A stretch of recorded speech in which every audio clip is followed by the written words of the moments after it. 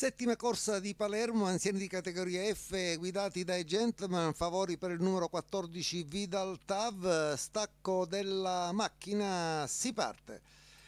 Allora si va via stavolta, buon lancio del numero 6 Splendor Gioiese che prova a scendere al comando mentre in combo è già all'esterno il numero 13 di Vacanza Jet, di fuori anche Actar OP, in terza pariglia uh, Real Mede SM, in avanti dunque Splendor Gioiese con uh, Gianluca Diventi che in avanti 13 e 4 l'ottimo lancio uh, per il castrone del team team cintura eh, che in avanti proverà a giocarsi una chance molto importante. Eh, per linee esterne c'è sempre Vacanza Jet che non ha trovato posto in corda e deve adeguarsi all'esterno mentre anche Villeneuve Griff prova a venire avanti e va dritto, va dritto Nicola Mauceri con eh, Vacanza Jet 44 scarsi i primi 600 metri sfonda eh, Vacanza Jet sicuramente ha speso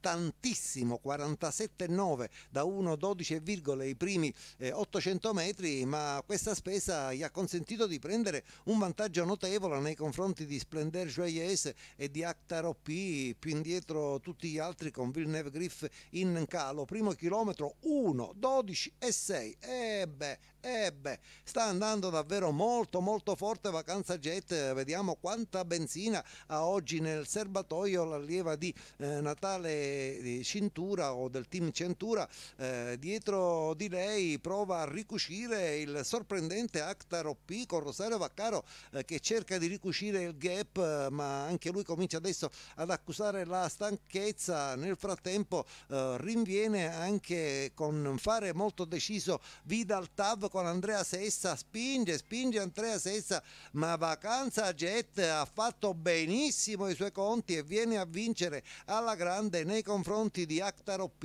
mentre forse Vidal Tav ha conservato il terzo posto ma questo lo dovremo rivedere. Quel che è certo è che ha vinto Vacanza Jet trascurata al gioco perché in questa categoria ha una qualità da far valere. Addirittura si giocava a 8 Nicola Maceuri in sediolo team cintura all'allenatore vittoria media di 1.14 e 1 è calata nel finale ma l'ha portata a casa. Buon secondo Actar OP che ha fornito la sua migliore prestazione